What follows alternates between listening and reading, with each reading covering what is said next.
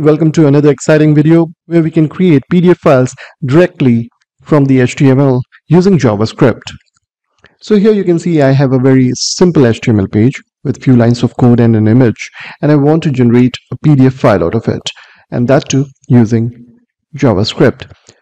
In order to do that we'll be making use of a couple of libraries which are available.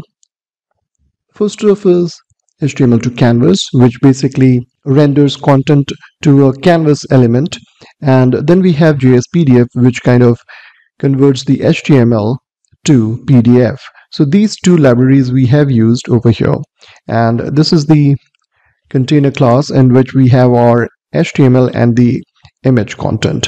Do note that the images that we are serving needs to be locally hosted not from some URL. So if you are making use of some links where the images are hosted on a different server.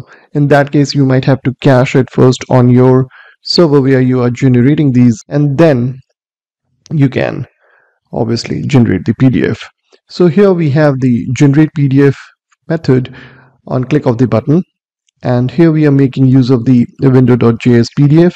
If you're using React or any other library, you can obviously go with the import module but with plain JavaScript, we can have it in this way.